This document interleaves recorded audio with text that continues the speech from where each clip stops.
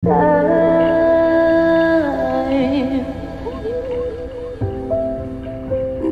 is the time.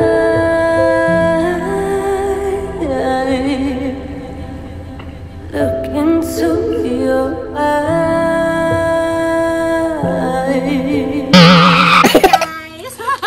Hindi tayo makalabas ngayong araw na to, ngayong mga panahon na to.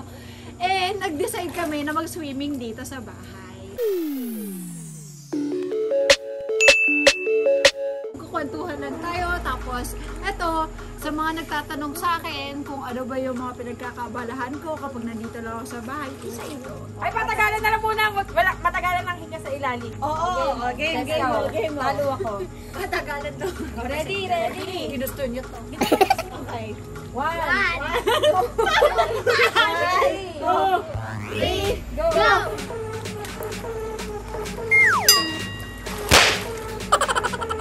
哈哈哈！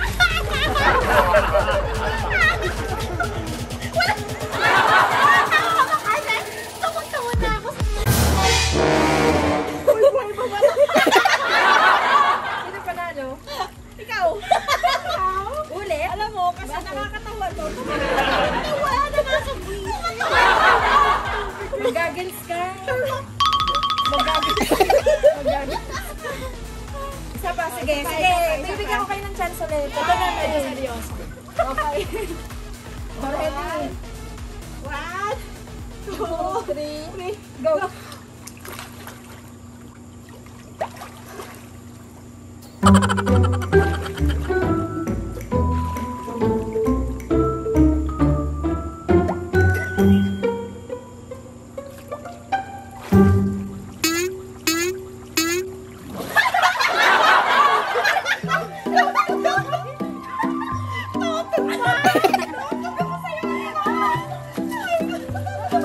So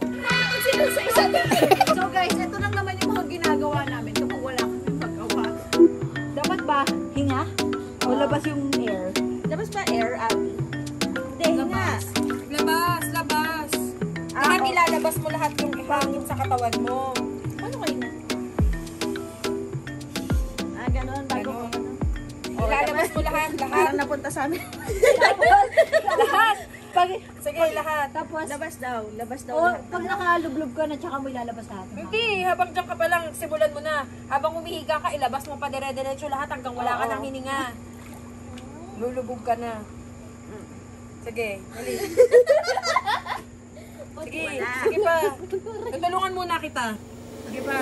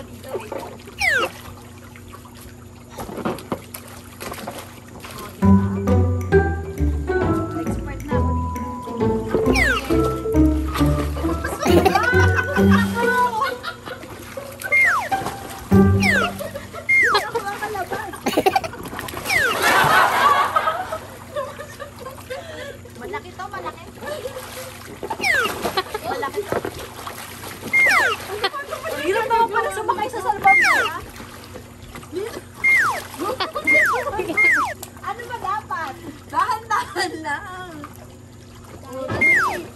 Dahan-dahan.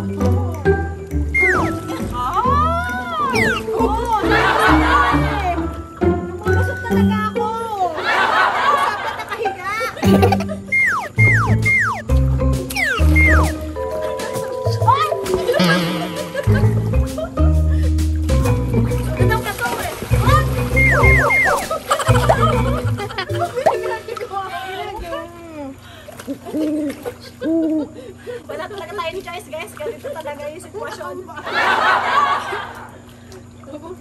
Bakit ba? Oo, ano yan? Ngayon, nasagutin na natin habang nakaganyan ka. Okay guys, paano ko lalapit sa kanila? Diyan na lang, ka na lumapit. Ito ko, Google. Okay guys, so ngayon, may na kaming topic. At uh, pag-usapan natin ngayon yung mga most googled or most searched about me. Okay? Let's start. Number one. Sanya Lopez. Not Chris. Hindi sa Wikipedia. Sanya Lopez age. Age. Sanya Lopez age. Aba, iwan ko sa'yo. Ilang ka ba? Sabi ko sana 22. Hindi,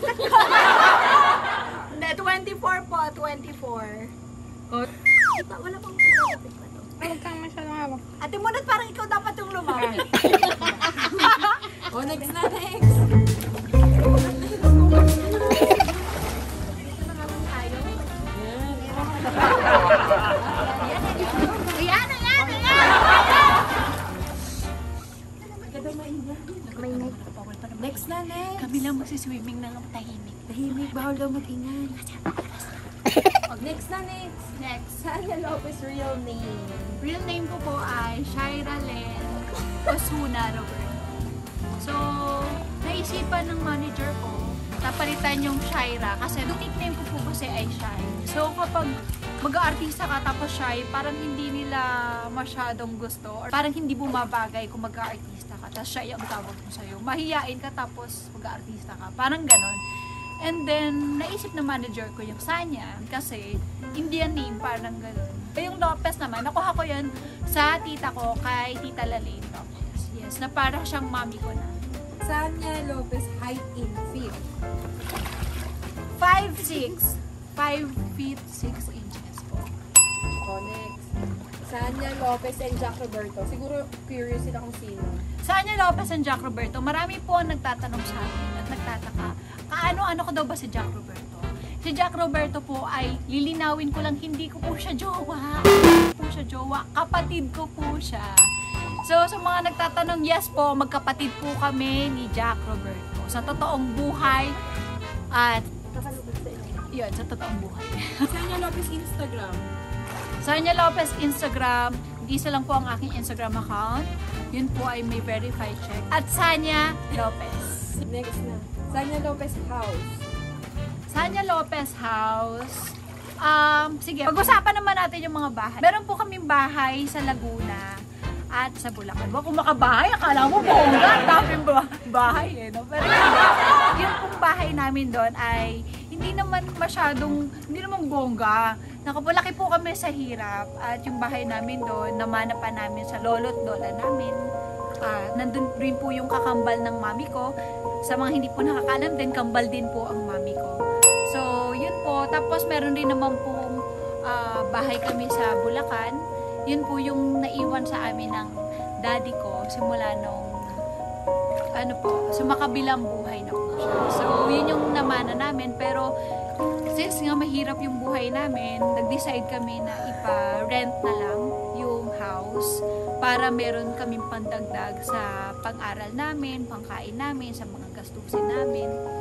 So, yun, sa mga pang-araw-araw namin. And then, hanggang nakilala namin yung mga managers namin, si Direk Alvin Fortuno at si Kuya Frank Milyari. Sila po yung nag-manage sa amin. Tapos, na, doon na nag-start. Nagkasama-sama kami. Tapos ito, hanggang naging okay yung nangyayari po sa amin dalawang magkapatid ni John Roberto. Tapos ito na yung bahay ko na nabili ko. Dati kasi nagre-rent lang kami. Yun yung mga panahon na nagre-rent lang kami. Nung kasama ko po yung manager ko, yung dalawa kong manager tsaka si kuya. Ano po sila, may sarili rin silang bahay. Actually, may sarili silang kondo. Yung dalawa ko pong managers. Pero nag-decide silang samahan kami para mas matutukan kami. Ayun.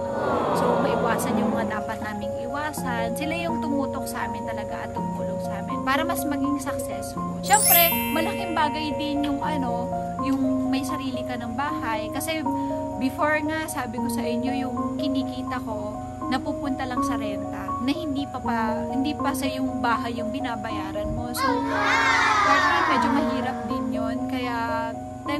talaga na Syempre, of course, sa GMA Network, sa lahat po na natitiwala. Sa akin, of course, kay Kuya Germs, Herman Moreno po, si tatay po yan. At si, sa mga managers ko, at of course, sa fa- family ko, and kay Lord, bakit nakuha ko itong bahay na to. Yun. Mas masarap na ngayon magtrabaho kasi yung kinikita mo, napupunta na sa bahay mo.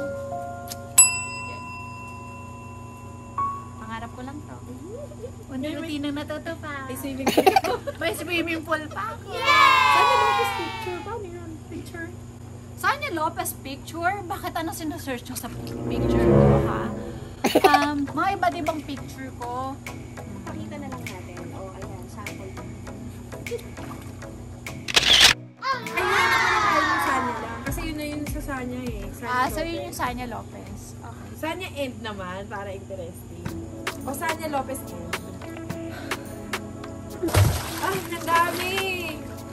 Tingnan mo, Sanya Lopez end. Unang-una, Sanja Lopez and Jack Roberto Perez. Ah, yun. Sanya Lopez and Jack Roberto parents. Of course, Marlon Roberto na, yun po, mami ko po yun. At si Ramil Roberto po, ang daddy ko po ay wala na. So, yung mami ko naman, nag-stay, before kasama namin siya, but since nung nagkaroon na kami ng, syempre, nadadala sa kami mag-taping. So, yung mami ko nalulungkot kapag mag-isa lang din sa bahay. Isa na siya nakasama yung mga kamag-anak namin.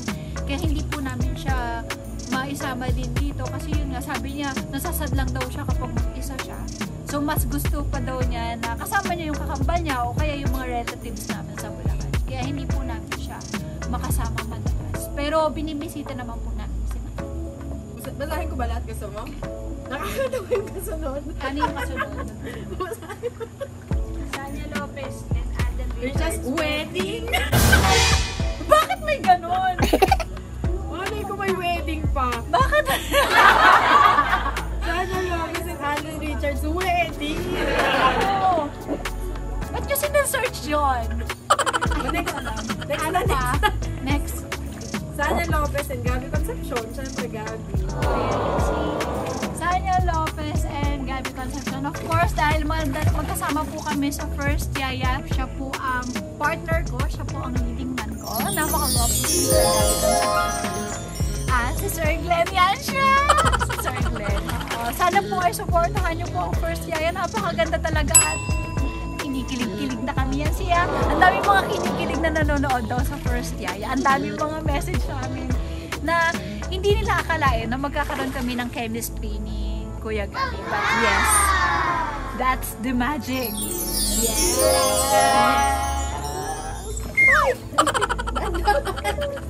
O next, Sanya Lopez and Rocco Nasino picture. Siguro, oo, mga fan sila ng Encantadia. Kasi nagkasama po ako at si Rocco Nasino sa ano, Encantadia po. Of course, siya po ay si Aki at ako naman po si Danaya doon. Kaya, and that time, ang lakas talaga ng Roxanne Dankil na mga fans. Hello po sa inyo, sa mga sumusuporta pa rin hanggang ngayon, hello po sa inyo. Yung next Encantadia, Tapos, nagkaroon.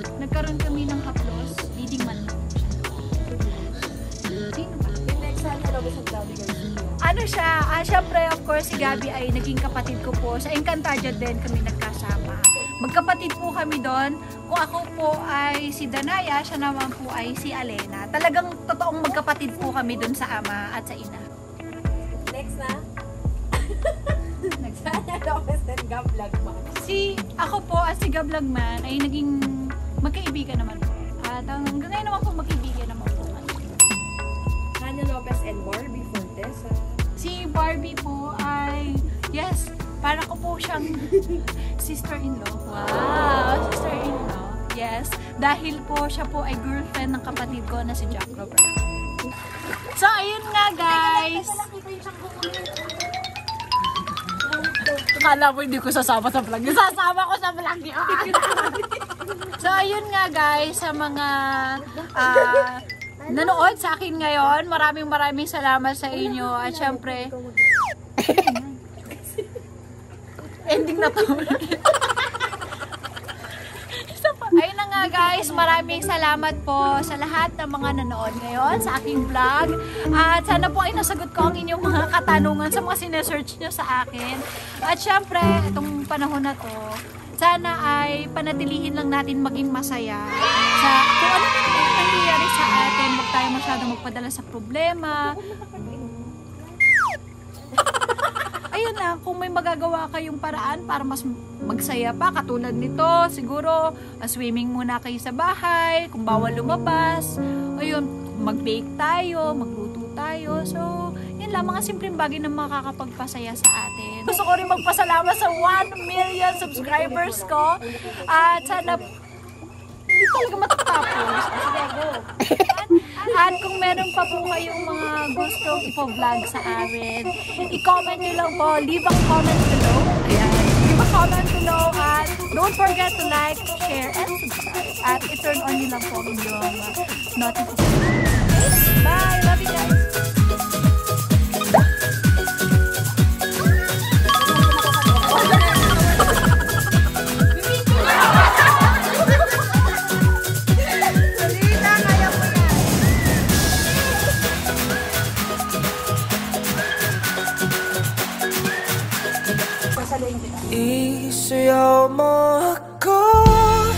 Sana all may sumasalo.